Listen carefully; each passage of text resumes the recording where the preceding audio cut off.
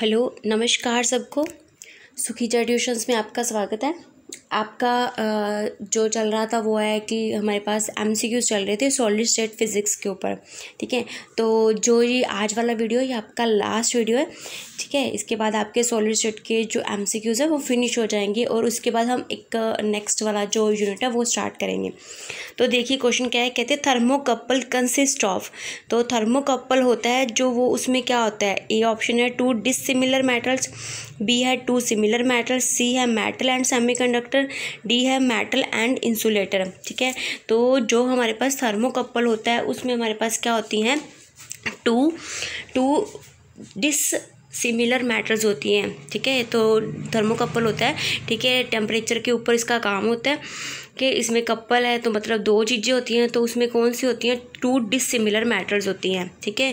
तो इसके पास आपका राइट ऑप्शन आएगा A two dissimilar matters next देखिए, कहते दी ऐसा यूनिट ऑफ़ इलेक्ट्रिकल कंडक्टिविटी ठीक है? तो इसमें से इलेक्ट्रिकल कंडक्टिविटी के यूनिट्स क्या होते हैं? ठीक है?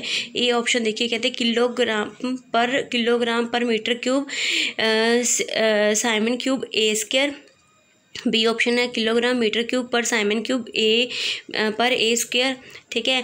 ओहम मीटर और पर ओहम पर मीटर। ओहम मीटर तो हमारे पास होती है, इलेक्ट्रिकल रजिस्टिविटी की यूनिट्स होते हैं, ठीक है? और इलेक्ट्रिकल कंडक्टिविटी और इलेक्ट्रिकल रजिस्टिविटी एक दूसरे के ऑपोजिट होते हैं। क्लियर है ना? है ना? तो अगर हमारे पास ये जो ओम मीटर होते हैं, वो इलेक्ट्रिकल रेजिस्टिविटी के यूनिट्स होते हैं। तो इलेक्ट्रिकल कंडक्टिविटी के क्या होंगे? पर ओम पर मीटर होंगे, ठीक है? तो इसका राइट ऑप्शन आएगा आपके पास डी और इसको क्या बोल देते हैं? साइमन पर मीटर भी बोल देते हैं। जो पर पर ओम होता है, उसको साइमन भी बोल देते हैं हम। ठीक है जी? तो इलेक्ट्रिकल कंडक्टिविटी के आपके पास यूनिट आएँगे। पर ओम पर मीटर और साइमन पर मीटर क्लियर ठीक है जी? तो नेक्स्ट वाला क्वेश्चन देखिए, कहते हैं unit cell has a this dis dimension A की फाइव एंगस्ट्रोम है बी की एट एंगस्ट्रोम है, ठीक है सी की थ्री एंगस्ट्रोम है, और इसमें अल्फ़ा जो एंगल है, वो आपके पास नाइन्टी है, ठीक है? अल्फ़ा नाइन्टी है बीटा सिक्सटी फाइव डिग्री है, और गामा आपके पास क्या है फिफ्टी फोर डिग्री है। ठीक है जी? गामा फिफ्टी फोर डिग्री है। तो इसमें आपके पास राइट ऑप्शन क्या आएगा? ठीक है? तो बताइए, इसमें आपके पास राइट ऑप्शन क्या आएगा? ए बी और सी ये भी इक्वल नहीं है, ठीक है? और, जो आपके पास अल्फ़ा बीटा और गामा है, ये भी आपके पास नहीं इक्वल है। ठीक है अल्फ़ा बीटा और गामा है वो भी आपके पास इक्वल नहीं है। तो इसमें आपके पास कौन सा ऑप्शन आएगा? ठीक है? ये क्रिस्टल सिस्टम मैंने आ, मैंने आपको करवाए थे ठीक है? तो आपने इसमें से देख के बताना है। आप लोगों ने खुद बताना है ठीक है? आप लोगों ने खुद बताना है कि इसमें कौन सा आएगा ठीक है?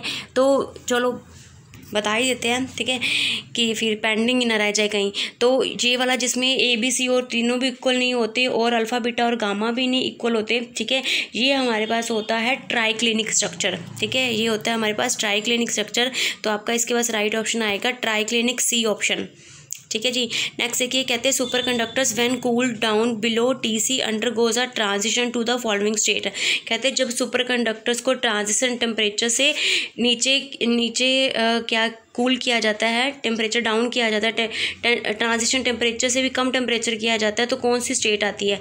ए है पैरामैग्नेटिक बी है फेरोमैग्नेटिक सी है डायमैग्नेटिक डी है फेरीमैग्नेटिक ठीक है? तो जब हम इसे टी सी से मतलब ट्रांजिशन टेम्परेचर से नीचे कूल करते हैं, ठीक है? तो इसमें हमारे पास क्या आता है कि जो इसमें से जो मैग्नेटिक फ़ील्ड है, उसको क्या करता है? टोटली एक्सपेल आउट करता है, ठीक है? तो अगर टोटली एक्सपेल आउट करता है तो हमारे पास कौन सी स्टेट होती है? डाया ठीक है? तो आपका राइट ऑप्शन आएगा सी का क्लियर ठीक है नेक्स्ट देखिए, कहते हैं energy of the lattice vibration is quantize the quantum of the energy is called कहते हैं हमारे पास लैटिस वाइब्रेशन में जो एनर्जी होती है, वो क्वांटाइज होती है।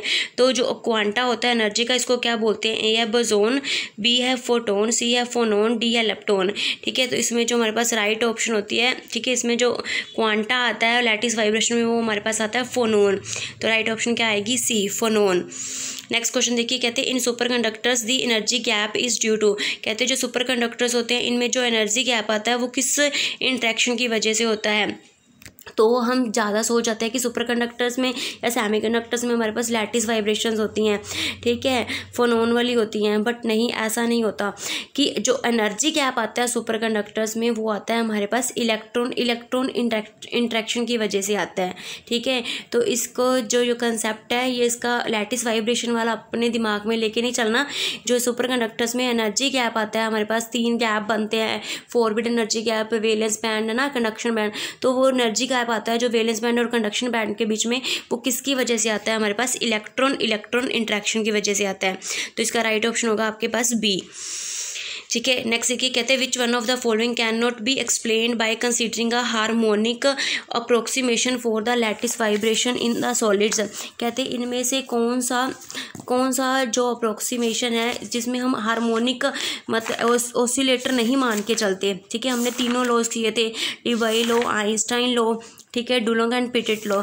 तो इसमें कौन सा है जिसमें हम जिसमें हम ये नहीं मान के चलते कि जो हमारे पास एटम है वो as a harmonic oscillator can not be explain by considering the harmonic oscillator for the latest vibration ठीक है? कौन सा नहीं कौन सा हारमोनिक सॉरी कौन सा सॉलिड को सॉलिड में जो एटम है, उसको हारमोनिक ऑसिलेटर मान के नहीं मतलब हम लेके नहीं चलते। ठीक है? कौन सा एक्सप्लेन नहीं हो सकता? ए है Debye's Debye's T cube law B है डुलंग पिटिट लॉ सी है ऑप्टिकल ब्रांचिस ठीक है? डी है थर्मल एक्सपेंशन ठीक है? तो इसमें हमारे पास जो राइट ऑप्शन आएगा, आपके पास वो आएगा डी थर्मल एक्सपेंशन इसमें हम ऐसा कुछ नहीं मान के चलते कि एक, जो आइटम है, उसको हम एक हारमोनिक ऑसिलेटर नहीं मान के चलते। ठीक है? तो जो ये वाला आएगा आपके पास सेवेंटी नाइन का राइट ऑप्शन आएगा आपके पास डी ठीक है जी? नेक्स्ट क्वेश्चन देखिए। कहते हैं the temperature of the dependence of the magnetic susceptibility of a ferromagnetic substance with the Curie temperature is given by ठीक है? कहते हैं इसका टेम्परेचर के साथ क्या इफ़ेक्ट होता है? फेरोमैग्नेटिक सब्सटेंस में हमारे पास जो मैग्नेटिक ससेप्टेबिलिटी होती है और जो क्यूरी टेम्परेचर होता है इसका हमारे पास क्या आ, क्या रिलेशन क्या होता है?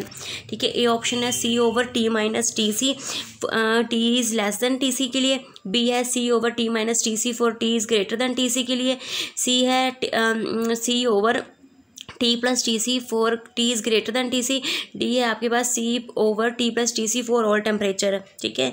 तो इसमें जो आपका राइट ऑप्शन है वो है B C over T minus T C for T is greater than T C ठीक है? जो टेम्परेचर है वो हमारे पास क्या होगा? क्रिटिकल टेम्परेचर से ज़्यादा होगा, ठीक है? उसके लिए हमारे पास रिलेशन क्या आएगा? C over T minus T C clear ठीक है नेक्स्ट देखिए, कहते हैं valence electrons do not determine the following property of the metal कहते हैं, जो वेलेंस इलेक्ट्रॉन है, वो इनमें से कौन सी प्रॉपर्टी को नहीं डिटरमाइन कर पाते? ए है thermal conduct electrical conductivity B है थर्मल कंडक्टिविटी सी है शीयर मॉडुलस और डी है आपके पास मटैलिक क्लस्टर ठीक है?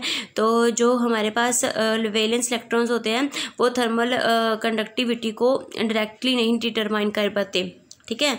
मेटल की मेटल में जो हमारे पास वेलेंस इलेक्ट्रॉन्स होते हैं, वो उसकी थर्मल कंडक्टिविटी को डायरेक्टली नहीं मेज़र कर पाते, ठीक है? तो इसमें आपके पास राइट ऑप्शन आएगा बी ऑप्शन क्लियर ठीक है नेक्स्ट देखिए, कहते हैं in consider F X ray diffraction with from a crystal with the F C C lattice the lattice plane for which there is no diffraction peak कहते कोई भी diffraction peak नहीं आनी चाहिए। अगर हम हम कहते हैं कि कोई भी डायफ्रैक्शन पीक नहीं आनी चाहिए तो हमारे पास जो डी होगा डिस्टेंस होगा, वो क्या होना चाहिए? मिनिमम होना चाहिए। ठीक है तो अगर हम डी मिनिमम को कैलकुलेट करते हैं तो क्या डी की वैल्यू क्या होती है? A over under root H square plus K square plus L square ठीक है, अगर हम इसको कैलकुलेट करेंगे ठीक है एफ़ सी लैटिस के लिए कैलकुलेट करते हैं ठीक है तो हमारे पास जो राइट ऑप्शन आएगी, वो आपके पास आएगी डी ऑप्शन ठीक है, इसको कैलकुलेट कर लेना आप लोग खुद लोगी ठीक है तो इसके पास आपकी राइट ऑप्शन आएगी डी ऑप्शन ठीक है थ्री वन वन वाला। नेक्स्ट देखिए कहते the Hall coefficient R H of the sodium depends upon the कहते जो हमारे पास हॉल कॉफिशेंट होता है हॉल कॉफिशेंट वाला जो टॉपिक है, वो बहुत इंपॉर्टेंट है एग्ज़ाम के पॉइंट ऑफ़ व्यू से, ठीक है? तो कहते the Hall coefficient R H of the sodium depends upon किसके ऊपर डिपेंड करता है? The effective charge carrier mass and carrier density ठीक है? चार्ज और मास के ऊपर डिपेंड करता है, ठीक है? इफ़ेक्टिव चार्ज कैरियर मास और कैरियर डेंसिटी के ऊपर डिपेंड करता है the charge carrier density and relaxation time के ऊपर डिपेंड करता है the charge carrier density density के ऊपर डिपेंड करता है और D the effective charge carrier mass है। जो इफ़ेक्टिव चार्ज कैरियर मास होता है, उनके ऊपर डिपेंड करता है, ठीक है? तो जो होल कोफिशेंट आर एच होता है सोडियम का वो हमारे पास डिपेंड करता है चार्ज कैरियर डेंसिटी के ऊपर, ठीक है? चार्ज कैरियर डेंसिटी के ऊपर डिपेंड करता है। तो आपके पास राइट ऑप्शन आएगा C the charge carrier density only next देखिए कहते हैं for an in an insulating solid which one of the physical phenomena is consequences of Pauli's exclusion principle कहते हैं, जो दिए गए हैं नीचे options ionic conductivity ferromagnetism paramagnetism और फेरो इलेक्ट्रिसिटी इनमें से कौन सा पोली एक्सक्लूजन प्रिंसिपल का कॉन्सिक्वेंस है? ठीक है which of one of the insulating solid में कौन कौन सी जो प्रॉपर्टी है या कौन सा फिनोमिना है, वो पोली एक्सक्लूजन प्रिंसिपल का एक कॉन्सिक्वेंस है. ठीक है तो जो पैरामैग्नेटिज्म होता है, वो हमारे पास किस वजह से आता है? पोली एक्सक्लूजन प्रिंसिपल की वजह से आता है। जो पैरा पैरामैग्नेटिज्म बिहेवियर होता है, वो किसकी वजह से आता है? हमारे पास पोली एक्सक्लूजन प्रिंसिपल की वजह से आता है। तो आपका राइट ऑप्शन होगा सी नेक्स्ट देखिए, कहते हैं super conducting ring is cooled ये क्वेश्चन बहुत इंपॉर्टेंट है। ये वाला क्वेश्चन एटी फिफ्थ वाला। कहते हैं super conducting ring is cooled in the presence of a magnetic field below its critical temperature T C the total magnetic flux that passes through the ring is कहते हैं, अगर super conducting ring है, ठीक है, उसको cool किया गया है मैग्नेटिक फ़ील्ड की प्रेजेंस में और क्रिटिकल टेम्परेचर के नीचे। ठीक है? तो जो मैग्नेटिक फ्लक्स कितना पास होगा रिंग में से कितना पास होगा ठीक है? जब हम कहते हैं कि हम क्रिटिकल टेम्परेचर के बिल्कुल ही आ, मतलब क्रिटिकल टेम्परेचर के अभी हमने सब जो क्वेश्चन किया था ऊपर क्वेश्चन किया था कि क्रिटिकल टेम्परेचर के बिलो हम जब उसको कूल करते हैं तो वो क्या बन जाता है? डायमैग्नेटिक बन जाता है। डायमैग्नेटिक मतलब अपने अपने में से मैग्नेटिक फ्लक्स को पास नहीं होने देता बिल्कुल एक्सपेल आउट कर देता है ठीक है? तो फिर मैग्नेटिक फ्लक्स क्या हो जाएगा? हमारे पास ज़ीरो ही होगा ना? ठीक है? तो आपके पास राइट ऑप्शन क्या आएगा? ए ज़ीरो नेक्स्ट देखिए, कहते which one of the following is not true इनमें से कौन सा सही नहीं है? कहते ए ऑप्शन है type one super conductor is completely diamagnetic कहते जो सुपर कंडक्टर होते हैं टाइप वन के, वो कम्प्लीटली डायामैग्नेटिक होते हैं। तो ये बिल्कुल ट्रू है, क्योंकि टाइप वन सुपर कंडक्टर्स होते हैं, वो मिजनर इफ़ेक्ट को स्ट्रिक्टली फॉलो करते हैं, ठीक है? तो वो कम्प्लीटली डायमैग्नेटिक होते हैं। तो ठीक है। बी ऑप्शन है type two type two super conductors exhibits Meissner effect up to second critical magnetic field ठीक है कहते हैं जो टाइप टू सुपर कंडक्टर्स होते हैं वो मिजनर फैक्ट को सेकेंड क्रिटिकल मैग्नेटिक फ़ील्ड तक आ, मतलब एक्सिबिट करते हैं उसको लेते हैं ठीक है? तो ये गलत है ठीक है? नहीं। मिजनर जो मिजनर फैक्ट होता है ये गलत है। ये वाली चीज़ गलत है। ये वाला ऑप्शन गलत है। हमने गलत ऑप्शन ही निकालनी थी। जल्दी आ गया हमारे पास। ठीक है? तो क्यों नहीं होता? कहते, इसका रीज़न क्या है? कहते हैं Meissner effect as well as normal metallic behaviour exist exist in presence in सेमिक below H C two ठीक है? कहते हैं जो जो सेकेंड मैग्नेटिक फ़ील्ड हम अप्लाई करते हैं ना सुपर कंडक्टर्स में, दो अप्लाई करते हैं। एक फ़र्स्ट हमारे पास क्रिटिकल मैग्नेटिक फ़ील्ड होता है, जिसको एच सी वन बोलते हैं, और ऐसे एक सेकंड क्रिटिकल मैग्नेटिक फ़ील्ड होता है एच सी टू बोलते हैं, ठीक है? तो जो super type two super conductors होते हैं, ठीक है? एक तो ये मिजनर फैक्ट को स्ट्रिक्टली फॉलो नहीं करते, और दूसरा क्या है? ये जो हम एच सी टू होता है सेकेंड क्रिटिकल मैग्नेटिक फ़ील्ड होता है, इससे नीचे ही इनमें मिजनर फैक्ट फॉलो होता है, उसके बाद नहीं होता, ठीक है? तो इन्होंने यहाँ पे लिखा हुआ है अप टू ठीक है? अप टू नहीं आएगा बिलो आएगा। ठीक है? अप टू नहीं आएगा बिलो आएगा तो बिलो के लिए ठीक है बट अप टू के लिए ये नहीं है। ठीक है जी? के जी, और इसी के साथ आपका जो क्वेश्चन है वो फिनिश होते हैं, और अगर आपको ये वीडियो अच्छा लगा हो तो इसको मैक्सिमम से मैक्सिमम आप लोग शेयर एंड लाइक करेगा thank you thank you everyone